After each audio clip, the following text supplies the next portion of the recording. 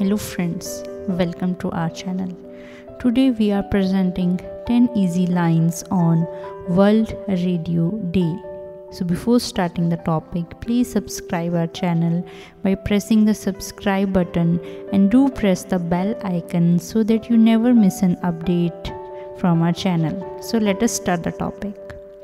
United Nations General Assembly in 2012 declared February 13 as World Radio Day. Radio is a popular mass medium in almost all countries of the world. It has the maximum outreach Almost everyone, irrespective of economic background, can afford to have a radio set. Radio is everywhere, reaching consumers on air, online, and on demand, whether they are at home, at work, or in their car.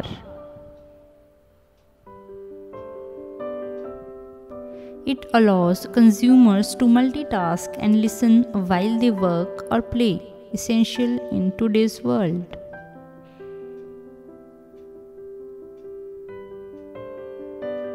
It provides programming content meeting the entertainment needs of people according to their demography, geography, ethnography, etc.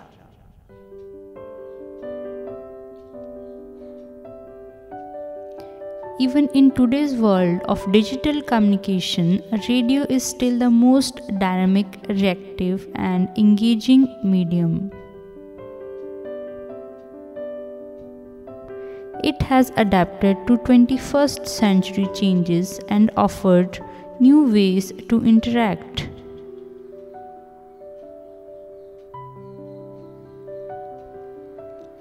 Radio has wide applications in the industries like broadcasting, aerospace, and transportation.